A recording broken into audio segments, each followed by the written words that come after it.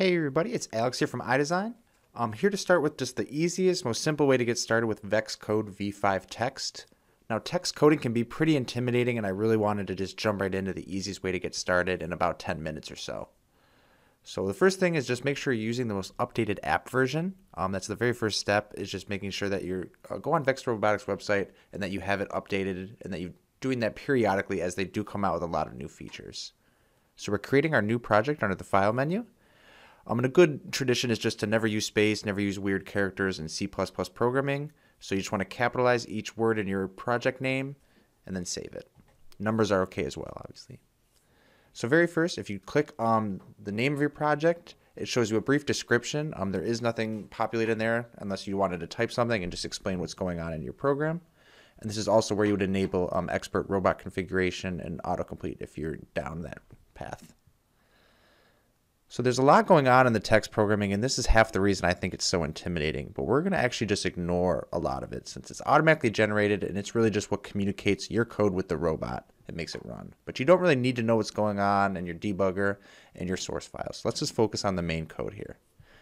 So don't touch anything that's already been included, but your code really starts right after this VEX code initialization statement. So here we can start with anything. And the first thing any program has, the first thing any robot has is a brain. So that's the only thing that's included in any standard project, and we can already start programming with the brain by typing brain.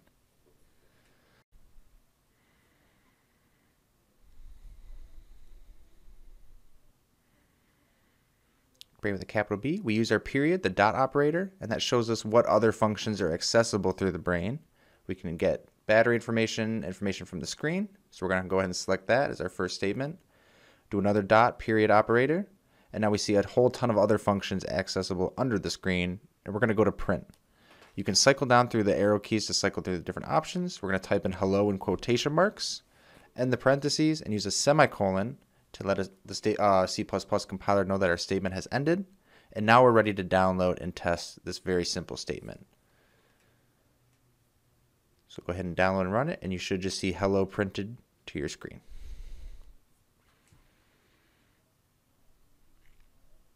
Um, just a friendly reminder, you can program and download programs directly through the controller, and I like to do that just to save um, running back and forth to my robot.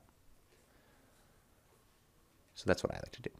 So all right, so now we want to do a little more than that. We have a robot with some, you know, obviously some motors, some more things going on. So let's add those in. Under robot configuration, under the device menu in the top right, we add a drivetrain, set the left and right motors, and I'm not using a gyro, so click that. Pretty standard drivetrain, I don't need to change any of these settings. And let's just give it um, an ARM motor, one motor that we have as well. And you see as soon as we add the drivetrain, it's automatically populated in VEX code. So I add a motor on port 8. I'm just going to name it the ARM motor, and I'll be done there. So now we have a drivetrain and one ARM motor. And you see once again, it's automatically populated under the devices by VEX code.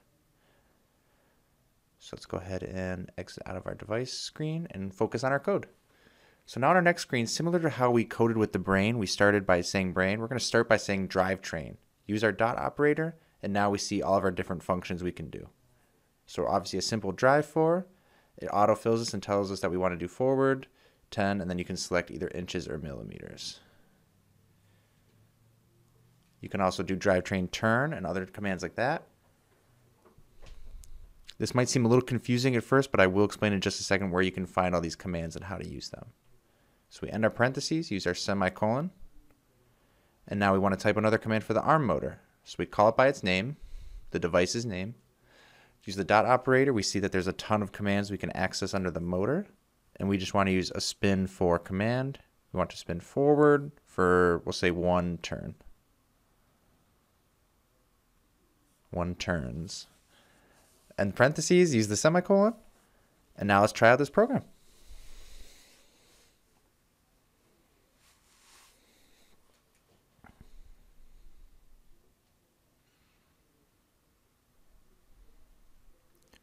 So this should show a pretty easy example of stringing together basic um, motion commands using the drivetrain and the robot arm.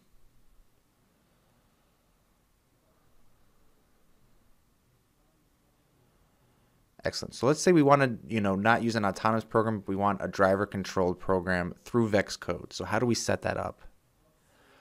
Well, first thing we want to go ahead and delete these autonomous commands as they're going to um, conflict with our driver control statements. So we go back under devices in the top right, and we're going to want to add another device, just the V5 controller. And by clicking the joysticks, you can cycle the different drivetrain behaviors and then clicking the different motors will allow you to design wherever you want the motors to. And you can also reverse directions with the blue arrow.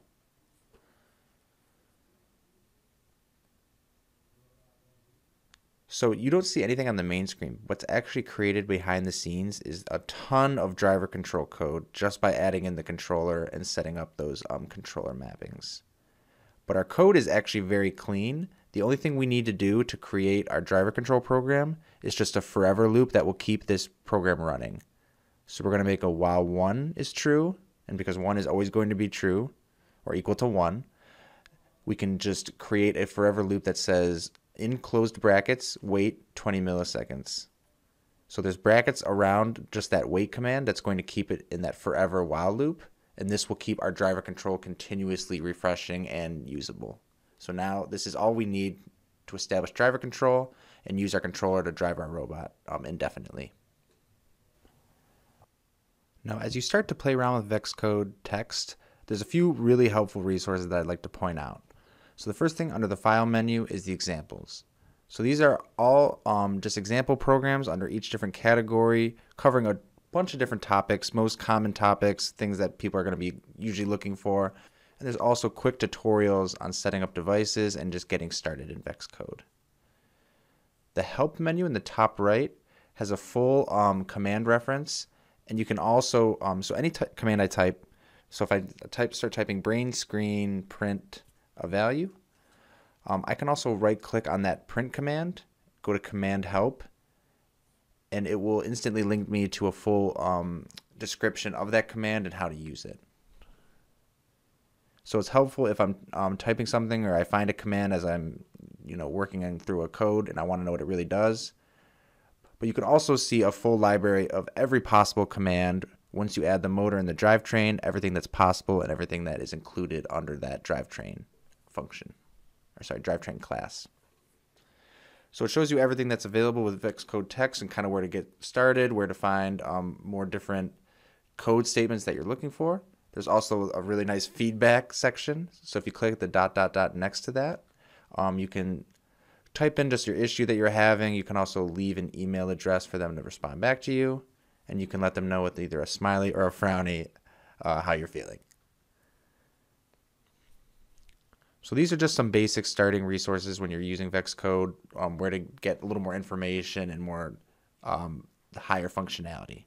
But if you ever have any questions, or if there's ever more that you wanted to check out with VEX Code, I really encourage you to check out our um, our free online webinars um, and other events that we have going on. And we do offer VEX Code professional development and training as well if that's something you're interested in. Thank you so much for watching the video. Hope you have a great day.